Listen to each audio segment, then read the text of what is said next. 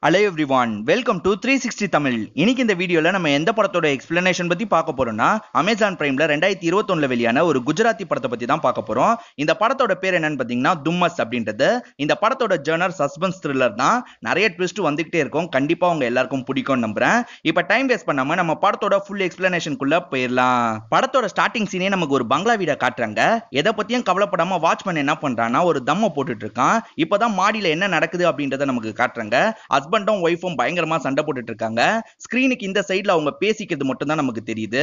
கடைசியில ஹஸ்பண்ட் என்ன பண்றாருன்னா ஒய்ஃபோட கழுத்துல ஒரு கண்ணியை வச்சு மிரட்டிட்டு இருக்காரு அதுக்கப்புறம் கோவமா அந்த வீட்டை விட்டு கார் எடுத்துட்டு கிளம்புறாரு. இந்த விஷயத்த வாட்ச்மேனும் கவனிக்கிறான். இப்ப வீட்டுக்குள்ள இருக்க ஒய்ஃபும் சோகமா லேப்டாப்ல எதையோ டைப் பண்ணிட்டு இருக்காங்க இவங்களை இந்த இடத்துல இருந்து நம்ம ஈரைன்னு கூப்பிடுவோம். இப்ப அந்த வீட்டுக்குள்ள ஒரு திருடனும் பூந்துடுறான். இவனோட பேர் சூரஜ் அப்படின்றது. இப்ப காம்பவுண்ட் சவரை தாண்டி வந்ததெல்லாம் வாட்ச்மேன் கவனிச்சிருக்க மாட்டான். இவர் என்ன பண்றாருன்னா அந்த கதவு லாக்ல இருக்கு அப்படின்னு புரிஞ்சுக்கிட்டு ஓபன் பண்ண ட்ரை பண்ணிட்டு இருக்காரு இப்ப வாட்ச்மேனும் கேர்ள் ஃப்ரெண்டு கிட்ட கால் பேசிட்டு இருக்கான் நடுவுல ஏதோ சவுண்ட் கேக்குது அப்படின்ற மாதிரி டோர்ல டார்ச் லைட் அடிக்கிறான். இப்ப கரெக்டா சூரஜும் ஒளிஞ்சுப்பாரு. இப்ப அவன் திரும்பி போன் பேச ஆரம்பிப்பான். சூரஜும் என்ன பண்றாருன்னா வேகமா திறந்து உள்ள வரணும் அப்படின்ற மாதிரி கஷ்டப்பட்டு அதை ஓபன் பண்ணிடுறாரு. திரும்பி ஏதோ சவுண்ட் கேக்குது அப்படின்ற மாதிரி வாட்ச்மேன் நேரா வந்தே செக் பண்ணுவான். ஆனா அவன் வரும்போது அந்த இடத்துல சூரஜ் இருக்க மாட்டாரு. ஏன்னா அவர் உள்ள வந்துருவாரு.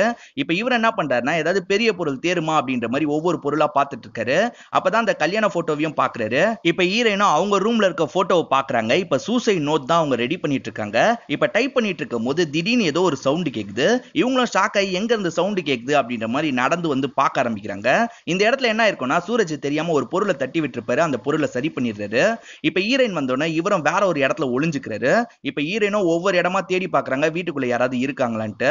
கடைசியா அவங்களோட ரூம்க்கு வரும்போது அந்த இடத்துல தான் சூரஜ் இருப்பாரு. இப்ப சூரஜ் என்ன பண்றாருன்னா சடனா அவங்கள தள்ளி விட்டு அங்க இருந்து ஓட பாக்குறாரு இப்ப அவங்க என்ன பண்றாங்கன்னா இவரை துரத்திட்டு வந்து அடிச்சுக்கிட்டே இருக்காங்க. இவருக்கு சண்டைலாம் போட தெரியாது போல. தப்பிக்கிறதுல தான் குறியா இருக்காரு. ஆனா ஈரன் என்ன பண்றாங்கன்னா ஒரே மிதி மிதிக்கிறாங்க. அவரும் பொத்துன்னு கீழே விழுந்துடுறாரு. இப்போ ஒரு பாட்டில் எடுத்து அவரோட மண்டையிலேயே ஒரு போடு போட்டுறாங்க. அவரும் மூச்சு விட முடியாம அப்படியே திணறிக்கிட்டே படுக்கிறாரு. இப்ப ஈரேனோ வாட்ச்மேனுக்கு கால் பண்ணலாம் அப்படின்னு கால் ட்ரை பண்றாங்க. ஆனா அவன் காலியை எடுக்க மாட்டான் இப்ப இவங்களுக்கும் என்ன பண்றதுன்னு சுத்தமா புரியல. சரி சூரஜ் இன்னொன்னு வாட்டி கிட்ட வந்து பார்ப்போம் அப்படின்ற மாதிரி பக்கத்துல வந்து பாக்குறாங்க. அவர் யாருன்றது இவங்களுக்கு சுத்தமா புரியல. இப்ப இவங்களுக்கு கையில லைட்டா ஒரு கீறல் பட்டிருக்கும். அதுக்கான ட்ரீட்மெண்ட் எல்லாம் இவங்களே பாத்துக்கிறாங்க. இப்ப யாரோ காலிங் பெல் அடிக்கிறாங்க யாரு பார்க்கலாம் அப்படின்ற மாதிரி ஹீரோயினும் வேகமா கதவை திறக்கிறதுக்கு வராங்க. அங்க வாட்ச்மேன் தான் வந்திருக்காரு. இப்ப கதவை திறந்த இவங்களும் என்ன பண்றாங்கன்னா ஒருத்தன் இப்படி வந்தா நானும் அடிச்சிட்டேன் அப்படின்னு சொல்றாங்க இதை பாக்குற வாட்ச்மேன் என்ன பண்றாருன்னா உடனே போலீஸ்க்கு கால் பண்ணலாம் அப்படின்னு கால் பண்றாரு இதை பாக்குற இவங்களும் வேணாம் வேணாம்னு சொல்லிட்டு இருக்காங்க. இது எல்லாத்தையும் ஹீரோயின் யோசிச்சு தான் பார்த்திருப்பாங்க. ஒருவேளை அவன் போலீஸ்க்கு கால் பண்ணி இவன் இறந்துட்டானா நம்ம தான் மாட்டுவோம். நம்ம மாட்டிட்டோம்னா நம்ம சூசைட் பண்ணிக்க முடியாதுன்னு யோசிக்கிறாங்க. இப்ப நிஜமாவே அந்த வாட்ச்மேன் காலிங் பெல் அடிக்கிறான். இவங்களும் வெளியே வராங்க. ஆனா கதவை திறக்காம ஜன்னல் வழியாவே பேசுறாங்க என்ன விஷயம் கேட்குறாங்க இல்லை நீங்க தான் கால் பண்ணீங்க என்ன விஷயம் கேட்கறதுக்காக தான் வந்தேன் அப்படின்னு அதெல்லாம் ஒண்ணு இல்லை நீ போய் உன்னோட வேலையை பாரு அப்படின்னு சொல்றாங்க. சரி அப்படின்ற மாதிரி இவனும் அங்க இருந்து கிளம்பி போயிடுறான். இப்ப ஈரனும் சூரஜ் யாருன்னு தெரிஞ்சுக்கிறதுக்காக அவர்கிட்ட ஏதாவது கிடைக்குதான்னு தேடி பாக்குறாங்க. ஆஸ்துமா பேஷண்ட் யூஸ் பண்ணுவாங்க பாத்தீங்களா இன்ஹேலர். அந்த இன்ஹேலர் தான் அவர்கிட்ட இருக்கு. அதையும் இவங்க எடுத்து வச்சுக்கிறாங்க. இப்ப கொஞ்ச நேரத்துல சூரஜும் கொஞ்சம் கொஞ்சமா கண்ணை முழிக்கிறாரு. கண்ணை முழிச்சு நம்ம இந்த இடத்துல தான் இருக்கோம்னு தெரிஞ்சுக்கிட்ட இவர் என்ன பண்றாருன்னா உடனே இங்க இருந்து தப்பிக்கணும் அப்படின்ற மாதிரி வேகமா கதவை நோக்கி வர்றாரு. இப்ப கதவை திறக்க ட்ரை பண்றாரு அப்ப அந்த இடத்துக்கு ஈரன் கண்ணோட வராங்க. ஒழுங்கு மரியாதையா அமைதியா இருன்னு சொல்றாங்க இவரும் செம்மையா பயப்பட ஆரம்பிக்கிறாரு. மேடம் என்ன எதுவும் பண்ணிடாதீங்கன்னு கெஞ்சுறாரு. என்னோட புருஷன் தானே அவனை அமிச்சான். என்ன கொல்றதுக்காக தானே அமிச்சான் அப்படின்னு ஈரன் கேக்குறாங்க. இவரும் ஏதோ பேசுறதுக்கு வராரு. ஆனா பேசவே முடியல. அப்படியே மூச்செல்லாம் அடைக்குது. இதை புரிஞ்சுக்கிட்ட இவங்களும் என்ன பண்றாங்கன்னா அந்த இன்ஹேலர் இருக்கு பாத்தீங்களா அதை அவர்கிட்ட தள்ளி விடுறாங்க. இப்ப அவரும் அந்த இன்ஹேலரை கொஞ்சம் எடுக்கிறாரு. அதுக்கப்புறம் தான் அவரால் பேச முடியுது. மேடம் நான் சாதாரண ஒரு திருடன் தான். இதுக்கு முன்னாடி திருட்டு வேலை கூட நான் பண்ணது கிடையாது. இப்ப காசு தேவைப்பட்டுச்சுன்றதுக்காக தான் இந்த விஷயத்த பண்ணேன். தயவு செஞ்சு என்ன போக விட்டுருங்க அப்படின்னு கெஞ்சுறாரு. என்கிட்ட பொய்லாம் சொல்லாத. என்னோட ஹஸ்பண்ட் தானே என்ன கொள்றதுக்காக உன்னை அமிச்சான். உண்மையை ஒத்துக்கோ அப்படின்றாங்க. சத்தியமா உங்க ஹஸ்பண்ட் யாருன்னு கூட எனக்கு தெரியாது. நான் திருடுறதுக்காக மட்டும் தான் வந்தேன்னு சூரஜ் சொல்றாரு. உன்னோட நெத்தியில ரத்தம் வருது. முதல்ல அதுக்கான ட்ரீட்மெண்ட்டை பாருன்னு சொல்றாங்க. இவரை எங்க போனோம்னு கேக்குறாரு. பாத்ரூம் கோ அப்படின்ற மாதிரி பாத்ரூம் கூட்டு வந்துடுறாங்க. அந்த இடத்துல வச்சு அவருக்கு சரி பண்ண சொல்றாங்க. அவரும் பேண்டேட் எல்லாம் ஒட்டிட்டு இருக்காரு. ஹீரோயினும் கன் பாயிண்ட்ல அவரை பாத்துக்கிட்டே தான் இருக்காங்க. இப்ப சூரஜோட போன் அடிக்குது. ஸ்பீக்கர்ல போட்டு பேசுன்னு சொல்றாங்க. இவரும் அட்டன் பண்ணி பேச ஆரம்பிக்கிறாரு. பேச பேசுறவங்க இவரோட லவ்வர் மாதிரி தான் பேசுறாங்க. என்ன சாப்பிட்டியா? அப்படின்லாம் கேக்குறாங்க. நான் சாப்பிட்டம்மா நீயும் சாப்பிட்டு படு அப்படின்னு சொல்றாரு. யார் இந்த பொண்ணுன்னு ஹீரோயின் கேக்குறாங்க. சூரஜோ என்ன சொல்றாருன்னா இவ தான் நான் கல்யாணம் பண்ணிக்க போற பொண்ணு. இந்த நேரத்துல நான் ஜெயிலுக்கு போனா நல்லா இருக்காது. தயவு செஞ்சு என்ன மன்னிச்சு விட்டுருங்க. ப்ளீஸ் ப்ளீஸ் அப்படின்ற மாதிரி கால்ல விழுந்து கெஞ்சிட்டு இருக்காரு. இத பாக்குற ஹீரோயினுக்கும் ரொம்ப பாவமா இருக்கு. முதல்ல எந்திரின்னு சொல்றாங்க.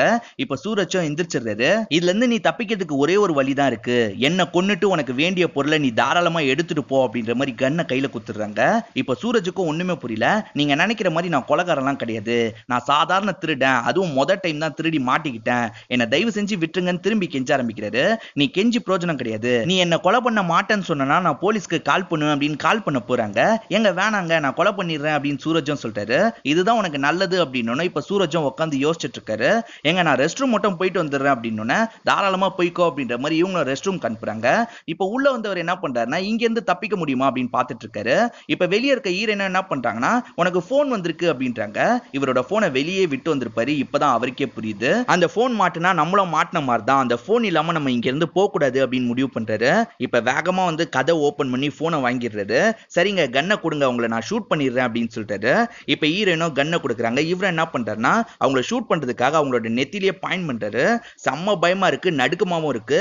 இப்ப சுடுற மாதிரி வந்தவர் என்ன பண்றாருன்னா எனக்கு கொஞ்சம் தண்ணி கிடைக்குமான்னு கேட்டுறாரு. இப்ப ஹீரோயினோ அவருக்கு தண்ணி எடுக்க போயிடுறாங்க. அந்த கேப்ல இவர் என்ன பண்றாருன்னா ஒரு கத்தி எடுத்து மறைச்சு வச்சுக்கிறாரு. இப்ப ஹீரோயினும் தண்ணியை கொடுக்கறதுக்காக வராங்க. இவர் என்ன பண்றாருன்னா சடனா ஹீரோயினோட கழுத்துல அந்த கத்தியை வைக்கிறாரு. எங்க தயவு செஞ்சு புரிஞ்சுக்கோங்க நான் திருடன் தான். என்னால கொல்லலாம் முடியாது. இங்க இருந்து நான் தப்பிக்கணும். அதுக்காக தான் இப்படிலாம் பண்றேன்னு சொல்றாரு. இப்ப அவங்க என்ன சொல்றாங்கன்னா கத்தியை வச்சு கொண்டா கூட பரவாயில்லன்னு சொல்றாங்க. இப்ப சூரஜா அவங்கள விட்டுறாரு. ஏங்க இப்படி பண்றீங்க? அப்படின்ற மாதிரி கத்தியை கோபமா தூக்கி எறிகிறாரு இப்ப அவங்களும் என்ன கொல்றதுக்கு ஏதாவது நீ பண்ணு அப்படின்னு சொல்றாங்க. இப்ப இவர் என்ன பண்றாருன்னா வேகமா இவங்களோட வாயை மூடிட்டு இவங்களோட ரூம்க்கு இவங்களை கூட்டு வர்றாரு. அவங்களுக்கும் சுத்தமா புரியல. இப்ப சடனா என்ன பண்றாருன்னா துணியை வச்சு வாய மூடிடுறாரு. அதே மாதிரி கையும் கெட்டி போட்டுறாரு இப்ப அந்த கதை வேற உள்பக்கமா லாக் ஆயிருக்கும். எப்படியாவது அதை ஓபன் பண்ணும் அப்படின்னு நினைக்கிறாரு. ஓபன் பண்றதுக்கு இவருக்கு சரியான ஒரு இரும்பு டூல் கிடைச்சா கூட போதும். அந்த டூலை தேடிட்டு இருக்காரு. இவருக்கும் ஒரு இரும்பு கிடைச்சிருது. இதை வச்சு ஓபன் பண்ணிடலாம்னு முடிவு பண்றாரு. இப்ப வேகமா கதவு கிட்ட வர்றாரு. அந்த சமயம் இவங்க என்ன பண்றாங்கன்னா கஷ்டப்பட்டு வாயில கட்டியிருக்க துணியை கழட்டிடுறாங்க. நீ இங்க இருந்து போனா மட்டும் மாட்ட மாட்டியா? நீ போனதுக்கு அப்புறம் நான் இறந்தா கூட உனக்கு தான் ஆபத்து. வீடு முழுக்க உன்னோட கைரேகை தான் இருக்கு. நல்லா யோசிச்சு முடிவு பண்ணு அப்படின்னு சொல்றாங்க இப்ப சூரஜும் லைட்டா பயப்படுறாரு. ஐயோ இவ சொல்றது உண்மைதான் அப்படின்னு யோசிக்கிறாரு. இப்ப ஈரன் இருக்கிற ரூம்க்கு வர்றாரு. அவங்களோட கட்டெல்லாம் கழட்டி விடுறாரு. ஏங்க என்ன இப்படி டார்ச்சர் பண்றீங்க அப்படின்னு கேக்குறாரு. அப்ப ஈரனுக்கு வாந்தி வர மாதிரி இருக்கு. வேகமா பாத்ரூம் நோக்கி ஓடுறாங்க. இவரும் பின்னாடியே வந்து பாக்குறாரு. வாந்தி தான் எடுக்கிறாங்க. என்ன ஆச்சு அப்படின்ற மாதிரி இவரும் கேக்குறாரு. நான் பிரெக்னண்டா இருக்கேன். அதனால தான் வாந்தி அப்படின்றாங்க. வயித்துல ஒரு குழந்தைய வச்சுட்டு தான் சாவணும் சாவணும்னு சொல்றீங்களா? அப்படி என்னதாங்க சாவறதுல உங்களுக்கு அவ்வளவு அவசரம்? அந்த காரணத்தை என்கிட்ட சொல்லுங்க. அந்த காரணம் மட்டும் கரெக்டா இருந்ததுன்னா நானே உங்களை கொலை பண்றேன் அப்படின்னு சூரஜ் சொல்றாரு நம்ம காதலிச்ச ஒருத்தரே நம்மள காயப்படுத்தும் போது அந்த வழியை மட்டும் தாங்கிக்கவே முடியாது அப்படின்ற மாதிரி இவங்களும் இவங்களோட பிளாஷ்பேக்கை சொல்றாங்க. மாணவ் அப்படின்ற ஒருத்தர் இவங்க ஆபீஸ்ல ஒர்க் பண்ணுவாரு. இவங்க அப்பா தான் அந்த ஆபீஸ்க்கே ஹெட்டா இருப்பாரு. இவங்களும் ஒரு முக்கியமான பொறுப்புல இருப்பாங்க. இப்போ அவங்களும் மீட்டிங்காக வராங்க. மாணவன் என்ன பண்றாருன்னா இந்த மீட்டிங்ல ஈரன் எதை பத்திலாம் முக்கியமா பேசணுமோ அதை பத்திலாம் அவங்களுக்கு சொல்லிட்டு இருக்காரு. இப்ப ஈரனும் கேட்டுட்டு இருக்காங்க. இவங்க ரெண்டு பேருமே லவ் பண்ண ஆரம்பிச்சிருப்பாங்க. ரெண்டு பேருமே கடைசியில கல்யாணம் பண்ணிக்கலாம் அப்படின்ற ஒரு முடிவும் எடுத்திருப்பாங்க. கல்யாணம் ஆகி சில மாசங்கள் இவங்களுக்குள்ள எல்லாமே நல்லா தான் தான் போயிட்டு இருக்கு இந்த மாதிரியான சூழ்நிலையில தான் அவருக்கு ஒரு கால் வருது. அந்த கால்ல என்ன தகவல் கிடைக்குதுன்னு பாத்தீங்கன்னா ஈரனோட அப்பா அம்மா ரெண்டு பேருமே ஒரு ஆக்சிடென்ட்ல இறந்துட்டாங்கன்ற தகவல் தான் கிடைக்குது. இந்த விஷயத்தை இவரும் ஈரன் கிட்ட சொல்றாரு. இப்ப ஈரனும் பயங்கரமா வருத்தப்படுறாங்க. இப்ப மாணவ் தான் சமாதானப்படுத்துறாரு. அதுல இருந்து சில நாட்கள்லயே மாணவ கிட்ட நிறைய மாற்றங்கள்லாம் இருக்கும். எப்படின்னு பாத்தீங்கன்னா இவங்க சகஜமா பேச வராங்க அவர் கோவமா அங்க இருந்து எந்திரிச்சு போறாரு. அதே மாதிரி எப்ப பாரு பிசினஸ் பிசினஸ்னு மட்டும் தான் பேசிட்டு இருக்காரு. இவங்க கல்யாண நாள் வரும். அதை பத்தி ஈரன் சொல்றாங்க. அதை பத்திலாம் இவர் கண்டுக்கவே மாட்டாரு அங்க வந்து கிளம்பிடுறாரு. இது எல்லாத்தையுமே ஈரன் பொறுத்துக்கிறாங்க. ஆனா மாணவுக்கு ஒரு பொண்ணு கூட அஃபேர் இருக்கிற தகவல் ஈரனுக்கு தெரிய வரும். ஈரன் என்ன பண்றாங்கன்னா அவரோட போன்ல இருக்க போட்டோஸ் எல்லாம் காமிச்சு கேக்குறாங்க. இவரும் இல்ல இல்லன்னு சமாளிக்க பாக்குறாரு. ஆனா ஈரன் விடாம கேள்வி மேல கேள்வி கேக்குறாங்க. இப்ப மாணவன் என்ன சொல்றாருன்னா ஆமாண்டி எங்க ரெண்டு பேருக்குள்ள அஃபேர் இருக்கு. நாங்க ரெண்டு பேர் தான் சீக்கிரமா கல்யாணம் பண்ணிக்க போறோம் அப்படின்னு நீங்க நான் பார்த்த மாணவ கிடையாது அப்படின்னு ஈரன் சொல்றாங்க. ஆமா நீ பார்த்த மாணவ நான் கிடையாது. அப்போ உன்னை லவ் பண்ற மாதிரி நடிக்க தான் செஞ்சேன். எல்லாத்துக்கும் காரணம் உன்கிட்ட இருக்க காசு தான் இப்ப அந்த காசு தான் எனக்கு வந்து சேர்ந்துரும்ல. உன்னை சீக்கிரமா சமயம் பார்த்து போட்டு தள்ளுறேன்னு சொல்றாரு. இப்ப ஈரன் என்ன பண்றாங்கன்னா இந்த தகவலை வேற யார்கிட்டயாவது சொல்லலாம் அப்படின்ற மாதிரி ஃப்ரெண்டுக்கு கால் பண்ணி இந்த விஷயத்தெல்லாம் சொல்ல ஆரம்பிக்கிறாங்க. கரெக்டா அந்த இடத்துக்கு மானம் வந்துடுறாரு. இவங்க கிட்ட இருக்க போனை பிடிங்கிடுறாரு. இதுக்கப்புறம் இந்த போனை நீ யூஸ் பண்ணக்கூடாது. இந்த போனை தான் யூஸ் பண்ணும் அப்படின்னு வேற போனை தராரு இந்த போன் மூலியமா நீ வாட்ச்மேன் கிட்ட மட்டும் தான் பேச முடியும்னு கிளம்புறாரு. இப்ப இவங்களும் பயங்கரமா ஃபீல் பண்ணிட்டு இருக்காங்க. இதெல்லாம் தாண்டி அந்த சொத்தெல்லாம் எப்படி எனக்கே கிடைக்கிறதுக்கு ஏற்பாடு பண்றது அப்படின்ற மாதிரி லாயர் கிட்ட டிஸ்கஷன்லாம் பண்ணிட்டு இருக்காரு. இந்த விஷயத்த ரூம்குள்ள இருக்க ஈரனும் கேக்குறாங்க பயங்கரமா வருத்தப்பட்டு இருக்காங்க. என்னோட ஹஸ்பண்ட் கையால சாவதுல எனக்கு சுத்தமா விருப்பம் கிடையாது. அதனால தான் சூசைட் பண்ணிக்கலாம்னு முடிவு பண்ணி சூசைட் நோட்டெல்லாம் கூட ரெடி பண்ணிட்டேன். ஆனா எனக்கு சாவறதுக்கு கூட ரொம்ப பயமா இருக்கு. அதனால தான் ஒன்ன கொள்ள சொல்றேன். தயவு செஞ்சு என்ன கொன்று அப்படின்னு கேக்குறாங்க. சரிங்க நீங்க சொல்ற மாதிரியே நான் பண்றேன். ஆனா அதுக்கு முன்னாடி வீட்டுல இருக்க என்னோட கைரேகை எல்லாத்தையும் க்ளீன் பண்ணும். ஏன்னா நான் மாட்டக்கூடாது அப்படின்னு சொல்றாரு. சரி முதல்ல கைரேகை எல்லாம் க்ளீன் பண்ணிடலாம் அப்படின்ற மாதிரி ஈரனும் சொல்றாங்க. இப்ப ரெண்டு பேரும் சேர்ந்து என்ன பண்றாங்கன்னா சூரஜ் எங்கெல்லாம் கை வச்சிருப்பாரோ அந்த இடத்துல எல்லாம் கைரேகையை க்ளீன் பண்ணிட்டு இருக்காங்க. இப்ப ஆல்மோஸ்ட் எல்லா இடத்தையும் க்ளீன் பண்ணி முடிச்சிடுறாங்க. இப்ப கடைசியில ஹீரோயின் என்ன பண்றாங்கன்னா இந்த இப்பயாவது என்ன ஷூட் பண்ணு அப்படின்ற மாதிரி கன்னை கொடுக்குறாங்க. இப்பயும் சூரஜ் என்ன பண்றாருன்னா கன்னை வாங்காம அங்க இருந்து போறாரு. எதுக்காக என்ன ஷூட் பண்ண மாட்டேன் அப்படின்னு கேக்குறாங்க. இல்லங்க என்னால் முடியவே முடியாது. நீங்க என்ன தப்பு பண்ணீங்க உங்களை ஷூட் பண்றதுக்கு? அதுவும் இல்லாம உங்க வயிற்றில் ஒரு கரு வேற இருக்கு. தப்பு எல்லாத்தையும் பண்ணது அவன் அவன் தான் தண்டனை அனுபவிக்கணும். நீங்க எதுக்காக தண்டனை அனுபவிக்கணும் அப்படின்னு கேக்குறாரு. நான் சொல்றதை தயவு செஞ்சு புரிஞ்சுக்கோ. நான் நல்லா யோசிச்சு தான் இந்த முடிவு எடுத்திருக்கேன். நான் சாவறது தான் ஒரே வழி. என்னோட ஃப்ரெண்ட்ஸ் கூட இப்ப நான் இவனை பத்தி தப்பா சொன்னா நம்ப மாட்டாங்க. அந்த அளவுக்கு அவன் மாத்தி வச்சிருக்கான். இந்த வீட்டுல இருக்க அந்த வாட்ச்மேன் கூட அவனோட ஆளு தான் அப்படின்னு சொல்றாங்க. இப்ப சூரஜ் இவங்க பக்கத்துல வந்து உட்கார்றாரு உங்களோட கஷ்டத்தை சொல்லிட்டீங்க. என்னோட கஷ்டத்தையும் கொஞ்சம் கேளுங்க அப்படின்ற மாதிரி இவரை பத்தி சொல்ல ஆரம்பிக்கிறாரு. இவர் ஒரு பொண்ணை பயங்கரமா லவ் பண்ணிருப்பாரு இப்ப கல்யாணமும் அரேஞ்ச் பண்ணிருப்பாங்க இந்த மாதிரியான நிலைமையில தான் இவருக்கு லங் கேன்சர் இருக்கிறது தெரிய வந்திருக்கும். கூடிய சீக்கிரத்துல ஆபரேஷன் பண்ணலனா இவர் இறந்து போயிடுவாரு அப்படின்ற ஒரு நிலைமை இருக்கும். எப்படியாவது அவளை கல்யாணம் பண்ணி அவ கூட வாழணும் அப்படின்றதுக்காக தான் திருடலான்னு முடிவு எடுத்திருப்பாரு.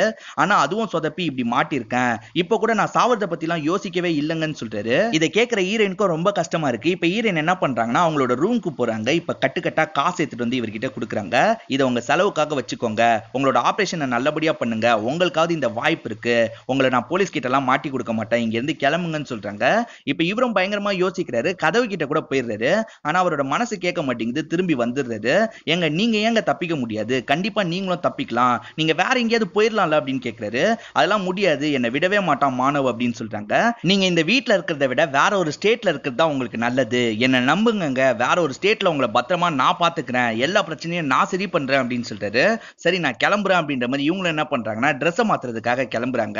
இப்பதான் சூரஜ் என்ன பண்றாருன்னா கீழே விழுந்து கிடக்குற கன்னை பாக்குறாரு. அந்த கன்னை எடுப்போம் அப்படின்ற மாதிரி கன்னை வந்து எடுக்கிறாரு. அப்ப சடனா இவரை பின்னாடி வந்து யாரோ பிடிக்கிறாங்க. யார் பிடிக்கிறாங்க அப்படின்னு நமக்கு காட்ட மாட்டாங்க. இவர் என்ன பண்றாருன்னா பயத்துல அவங்கள ஷூட் பண்ணிடுவாரு. அவங்களும் இறந்து கிடக்காங்க கீழே. அதை பாக்குற இவரும் செம்மையா பயந்துட்டு இருக்காரு இந்த இடத்துல தான் படத்தோட இன்ட்ரோல போடுறாங்க. இப்பதான் நமக்கு நடந்ததை கிளியரா காட்டுறாங்க. இவர் அந்த கன் எடுத்து பார்த்துட்டு இருப்பாரு அப்ப பின்னாடி இருந்து வாட்ச்மேன் தான் வந்து இவரை பிடிச்சிருப்பாரு. யார் ராணி யார் ராணி அப்படின்லாம் கேட்டுட்டு இருக்காரு இவர் அந்த வாட்ச்மேன் கூட சண்டை போட்டுட்டு இருக்காரு இவங்க ரெண்டு பேருமே கன்னை வச்சு மாத்தி மாத்தி சண்டை போட்டுட்டு இருப்பாங்க அப்பதான் தெரியாம வாட்ச்மேனை ஷூட் பண்ணிருப்பாரு. இப்ப என்ன பண்றதுன்னு தெரியாம யோசிச்சுட்டு இருக்கும் போது சவுண்ட் கேட்டு ஈரனும் அந்த இடத்துக்கு வராங்க. என்னாச்சு அப்படின்னு கேக்குறாங்க. இவரும் நடந்ததெல்லாம் சொல்றாரு. நம்ம கிளம்பலான்னு முடிவு பண்ணும் போது தான் இப்படி பண்ணுவியா அப்படின்னு ஈரன் கேக்குறாங்க. நான் என்னங்க வேணும்ட்டேவா பண்ண இவன் எப்படி இங்க வருவான்னு எனக்கு தெரியும். தெரியாம தான் ஒரு ஆக்சிடென்ட் ஆயிடுச்சு அப்படின்னு சொல்லிட்டாரு. இவனை இப்படியே விட்டுட்டு நம்ம கிளம்ப முடியாது அப்படின்ற மாதிரி ஈரன் சொல்றாங்க அது எனக்கும் தெரியுங்க. இப்ப இவனை என்ன பண்றது அப்படின்னு சூரஜ் கேக்குறாரு. இப்ப ஈரனும் பயங்கரமா யோசிக்க ஆரம்பிக்கிறாங்க.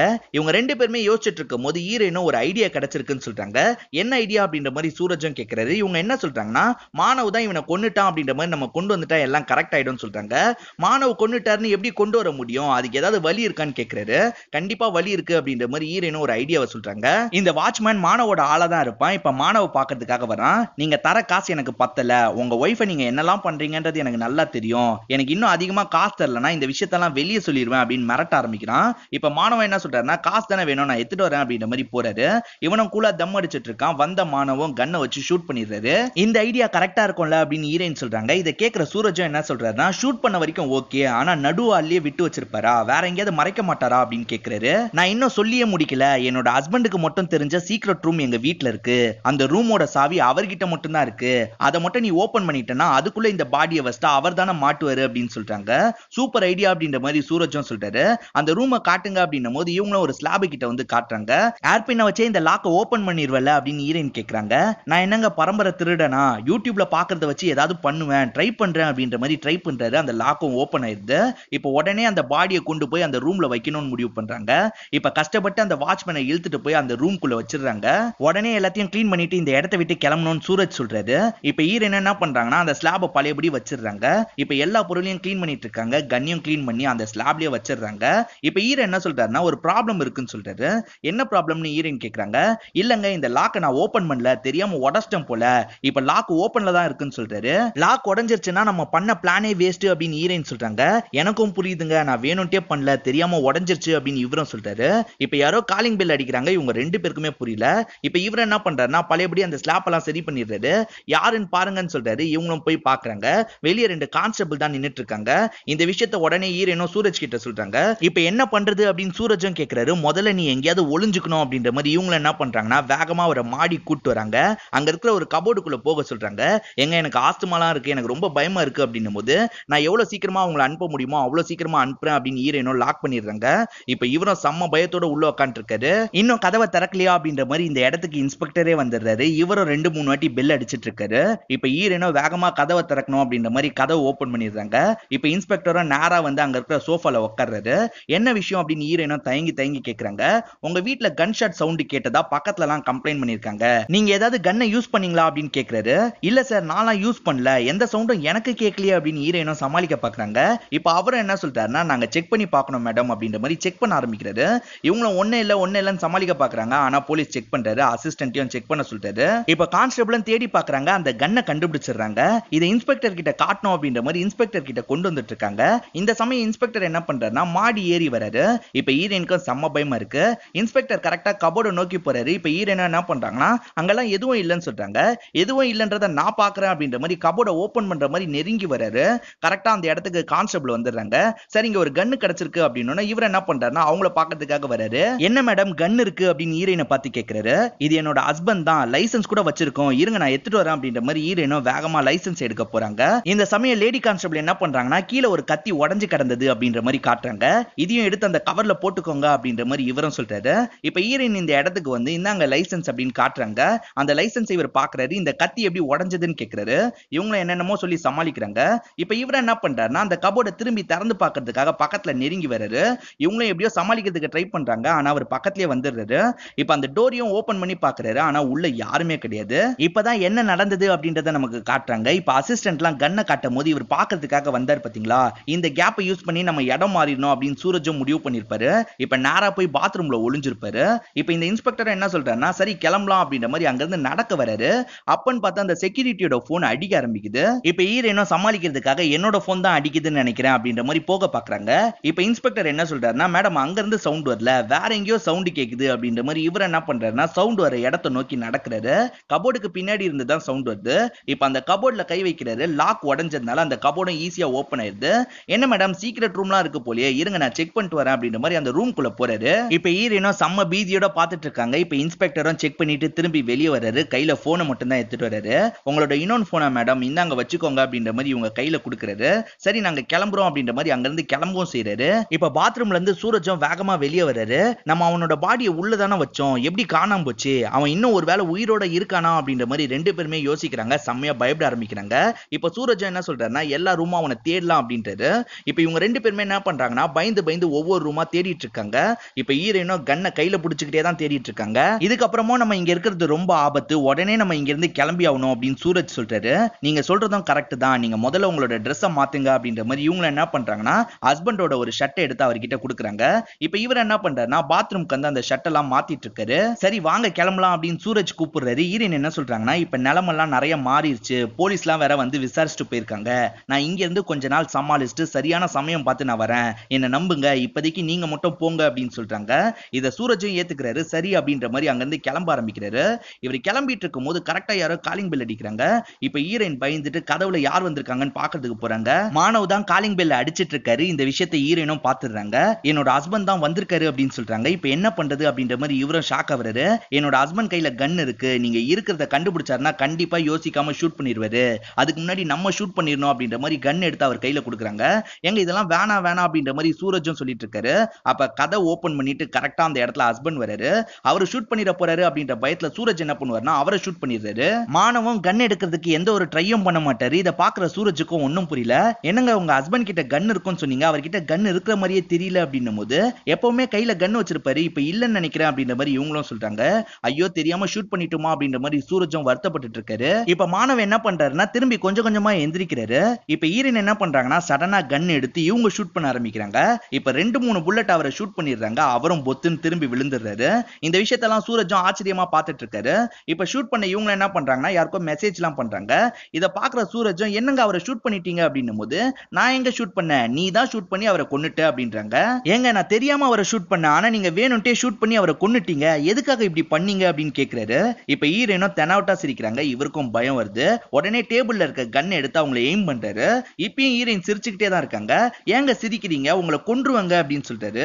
ஈரன் அதை பத்தி கவலையப்பட மாட்டாங்க சோஃபால உட்காடுறாங்க நான் சுட மாட்டேன் மட்டும் நினைக்காதீங்க. கண்டிப்பா சுற்றுவேன் அப்படின்ற மாதிரி இவரை மிரட்டிக்கிட்டே பக்கத்துல வராரு டே இடியட் உன்னால முடிஞ்சா சுடுறா அப்படின்ற மாதிரி அவங்களும் தெனாவட்டா பேசுறாங்க.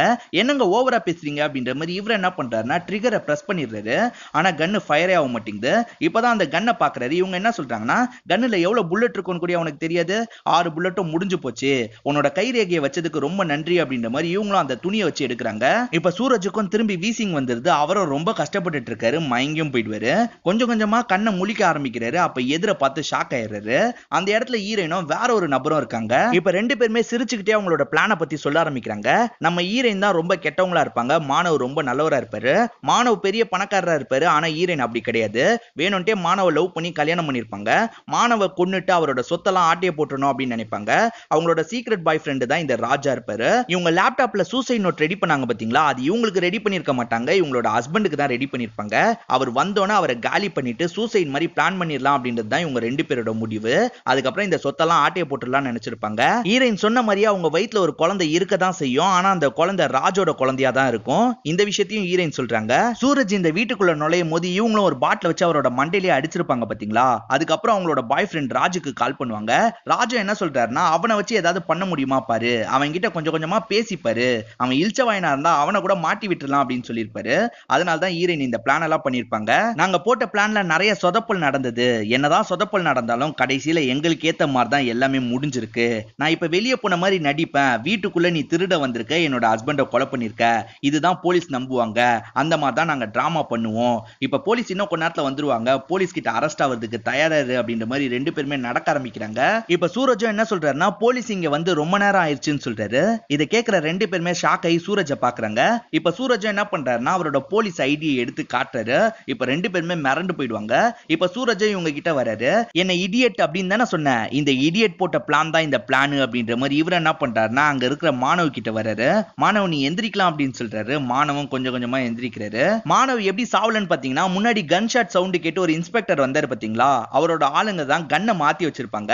இந்த கன்னு ஃபேக் கன்னா இருக்கும். அதனால தான் ஃபேக் பிளட் வந்திருக்கு. இதுக்கு முன்னாடி நீங்க பார்த்த எல்லாமே நாங்க பண்ண பிளான் தான். நாங்க எதுக்காக இன்னைக்கே பிளான் பண்ணோம் அப்படின்றத நீங்க தெரிஞ்சுக்கணும்ல?